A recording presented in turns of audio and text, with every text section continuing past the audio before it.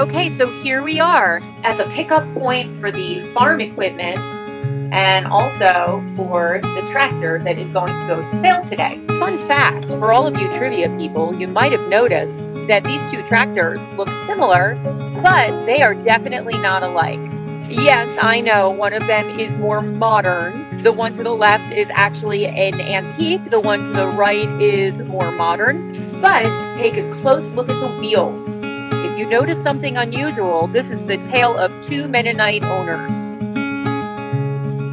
The one Mennonite owner is allowed to have rubber on the tires of his tractor, and the other owner has to have steel wheeled tractors because he belongs to the Old Order Mennonite Church.